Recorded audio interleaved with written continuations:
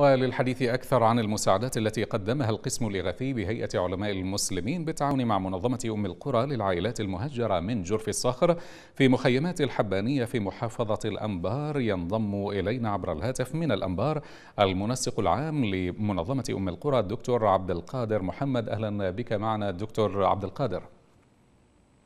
أهلا وسهلا مرحبا. أهلا بك. بداية دكتور عبد القادر يعني قدمتم في منظمة أم القرى بالتعاون مع القسم الإغاثي لهيئة علماء المسلمين في العراق. قدمتم مساعدات للعائلات المهجرة من جرف الصخر في مخيمات الحبانية. لو تحدثنا أكثر عن هذه الحملة. نعم. بسم الله الرحمن الرحيم. شكرا جزيلا. آه، في الحقيقة هذه الحملة تأتي في ضمن الحملات آه، المستمرة للمنظمة في شهر رمضان المبارك. وهذه الحملة كانت لعائلات جف الصخر النازحة منذ أكثر من آه، سبع سنوات في منطقة الحبانية تحديدا. آه، مخيم الحبانية وهناك آه، مخيم يضم العديد من العوائل. تم نقلهم في منذ شهور قليلة إلى مجمع دور واطئة الكلفة ما يسمى وهذا يعني على طريق بين في الطريق الموصل الحبانية مدينة سياحية. وتم نقل العائلات جرف الصخر إلى هذا المجمع تقريبا آه، يضم 100 دار وإضافة إلى كرفانات. وتم إسكان فيه أكثر من 230 عائلة نازحة من عائلات جرف الصخر.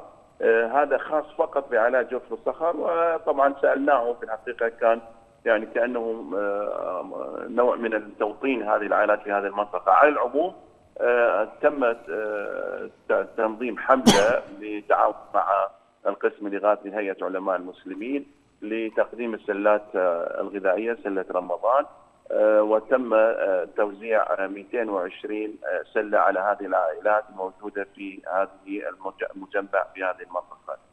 بالمقابل أيضا كان هناك في نفس الوقت ما تبقى من العائلات في المخيم الاصلي في آه، الحبانيه قرب المدينة السياحية آه، بقيت فيه تقريبا 80 عائلة وهذه العائلات من مختلف المناطق في محافظة الأنبار من غير أهالي جرف الصخر. أيضا كان لنا هناك التوزيع القسم الثاني وتقريبا آه، قرابة 80 عائلة موجودة. تم التوزيع أيضا السلات الغذائيه على هذه العائلات في نفس الوقت في نفس اليوم. وبالتالي يصبح المجموع يعني الموزع من السلات الغذائيه تقريبا 300 آه، إلى 320 آه، سلة غذائية في هذا اليوم في هذه الحملة فقط آه، من سلات رمضان على هذه العائلات نعم. نعم. دكتور يعني العائلات المهجرة من جرف الصخر كما هو معروف خرجت من بيوتها ولم تستطع حتى يعني حمل أغراضها ما يعني أن أوضاعهم المعيشية صعبة بعد مرور كما تفضلت ما يقرب من سبع سنوات على تهجيرهم. كيف يعني تصف لنا وكيف وجدت أوضاعهم المعيشية؟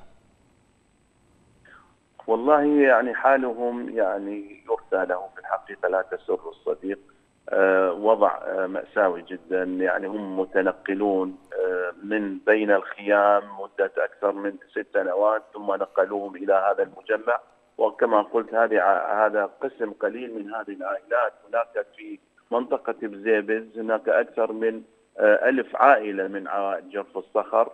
هؤلاء فقط يسموهم منطقة العويسات. آه، يعني في هذا المجمع يعني مرمي في الصحراء حقيقة بعيد جدا عن المدن ولا يمكن أن يخرجوا إلا بعبر وسائل نقل وطبعا هذه منعدمة وسائل النقل من السيارات وغيرها. بالتالي هم منطقة شبه معزولة يعني في هذه الصحراء آه، وبالتالي هم معتمدون على ما يصلهم مساعدات إغاثية وإنسانية في هذه آه، المنطقة والمعزولة و يعني قليل ما يصلهم المواد الغذائية ومن المساعدات صحية وانسانيه غيرها.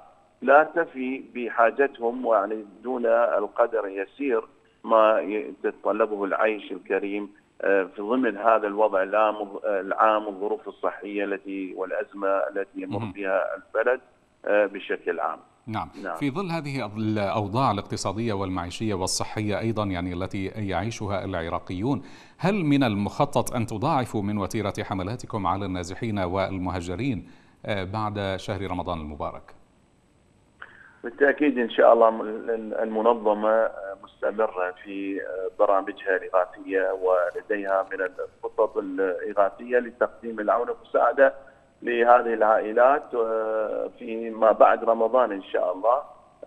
هذه الحملات اللي تمت في رمضان يعني هناك أكثر من حملة أحيانا في نفس الأسبوع وفي مختلف المحافظات سواء أنبار أو في أربيل أو الموصل أو كركوك المناطق الأخرى تقريبا يعني أوشكت هذه الحملات خلال شهر رمضان على الانتهاء. ولدينا برامج وخطط إغاثية إن شاء الله ما بعد رمضان.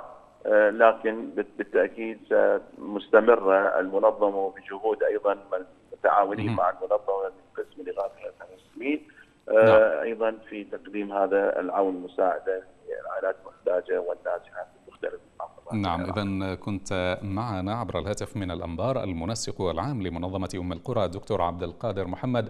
شكرا جزيلا لك.